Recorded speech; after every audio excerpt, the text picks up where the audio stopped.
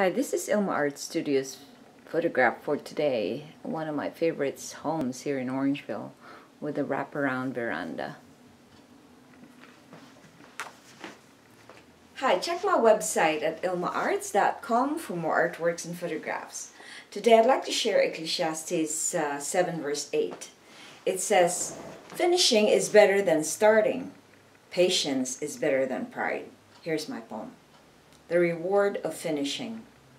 When you bring a concept to reality, you are beginning something. It takes courage and inspiration to present your ideas into being. You will need diligence and perseverance to continue working. It may present some challenges and bumps, but keep on grinding. Bringing the plan into reality and finishing it will reap rewards. It will teach you patience and endurance like you never had. Finishing is better than starting, and patience is better than pride. Let the Lord be in your endeavors and never put him aside. Here's my say. How many people start a project or something and never really finished it?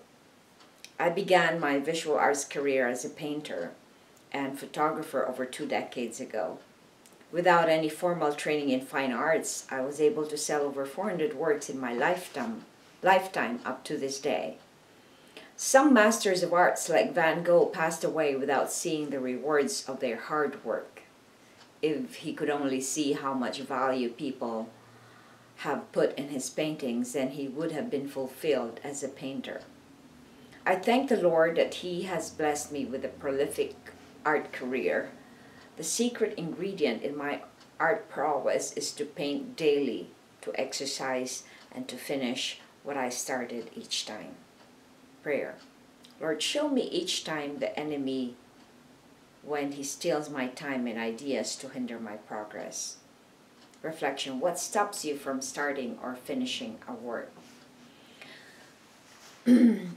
Procrastination is uh, one thing that uh, has plagued my life for in the past for so long. And um, it's amazing that if I don't procrastinate, I could actually just do, uh, finish something right away. But uh, one uh, reasons for procrastinating is first the fear of uh, failure. Uh, I used to fear that a lot, but I don't anymore and uh, I've learned that failure is a good teacher because when you fail, you learn and discover something that you can use and uh, progress into a better um, aspect of your life. Another uh, thing that uh, start uh, distracts me from finishing a work is other distractions that are uh, very trivial sometimes. It's just a household uh, chore that I need to do and it, it presents itself that it needs to be done so I get sidetracked with uh, what I need to do or a pro probably a change in in my life or a sudden event that is unexpected. These are all the things that could stop or hinder me from starting or finishing a work.